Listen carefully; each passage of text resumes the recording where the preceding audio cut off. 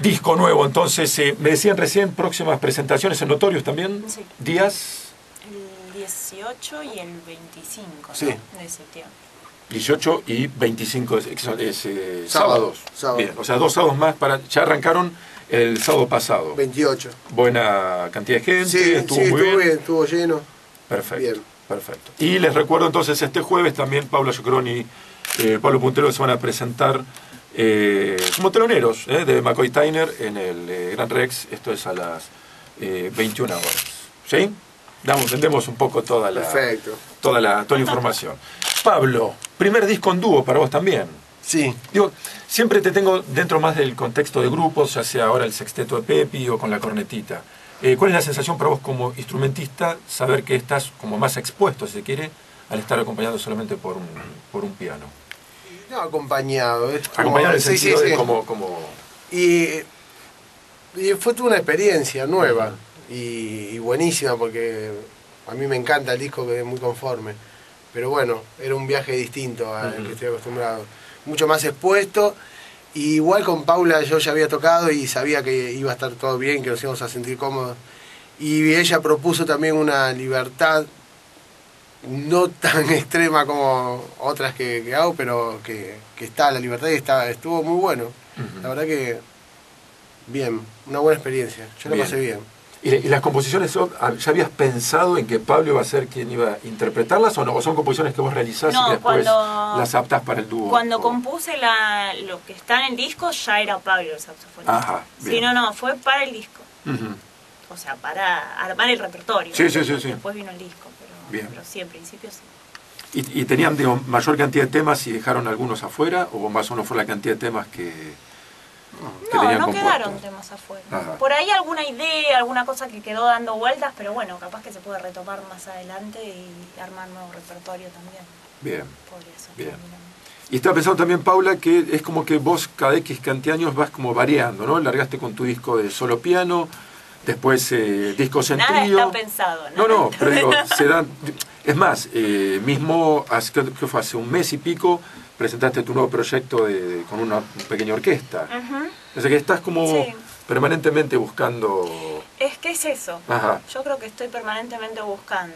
Y bueno, voy encontrando cosas, pero bueno, después sigo buscando. Pero es una búsqueda para lograr eh, un final determinado. No. ¿Forma parte del No. desconcierto de la vida? Yo creo que sí, que forma parte de la vida. Yo creo que sí, además que es cíclico. Yo creo que después va a volver el trío, después va a volver otra vez. O sea, el- es como que se va alimentando uno con el otro, después volverá un piano solo ¿Pero qué, nuevamente. qué- qué- qué es lo que pasa? ¿Es como que te aburrís, digamos, de seguir con un proyecto no, durante años? No. no, no, me parece que uno va haciendo cosas, por lo menos para mí el concepto es así. Sí, sí. es que uno va haciendo música, cuando algo está bueno, lográs un repertorio considerable, lo grabás. O sea, si tenés los medios y lo podés bancar, lo grabás. Y si está bueno, tratás de que se edite. Y después uno se sigue, porque yo mientras estoy presentando este disco, como vos decís, yo estoy, acabo de grabar con la, con la orquesta, con la pequeña Ah, ¿ya- ya orquesta. grabaste? Hemos grabado el fin de semana Ah, qué pasado. bueno.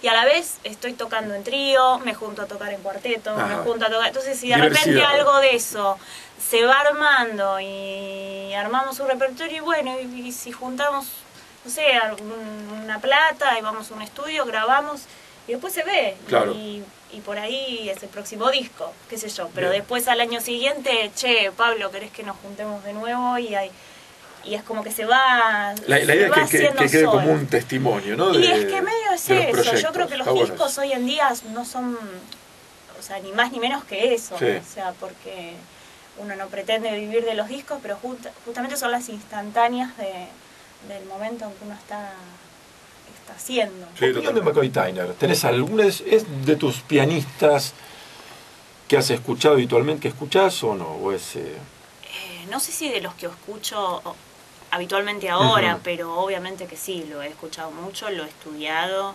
Y además porque uno de los primeros músicos al que me detuve, o sea, al que empecé a prestarle una atención más detallada fue a Coltrane y en ese momento, eh, bueno, estaba tocaba con un amigo que, que él tenía toda su discografía, entonces tenía acceso a todos los discos y bueno, como te imaginarás, o sea, lo, lo seguí muy de cerca en esa época.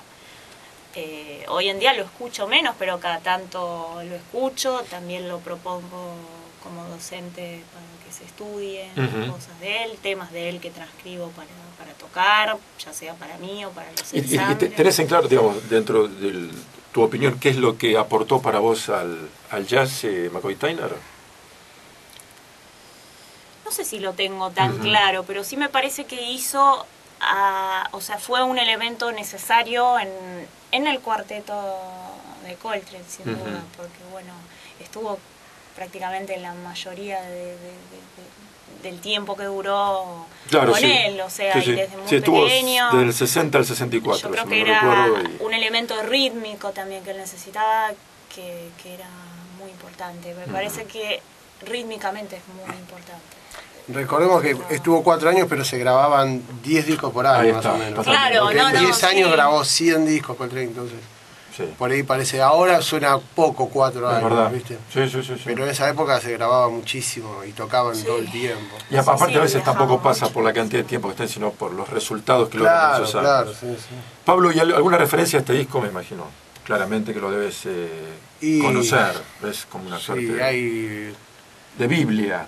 claro, sí, sí, hay hasta programas de radio dedicados a, a ese en, en Estados Unidos, que hay una, hay una estación que se llama así, creo, ¿no? Sí, a- hasta, sí, hasta eh, Coltrane tiene como una suerte de iglesia. Tiene, Eh, sí, sí, seguidores. sí, y- sí, sí. sí, sí, sí, sí.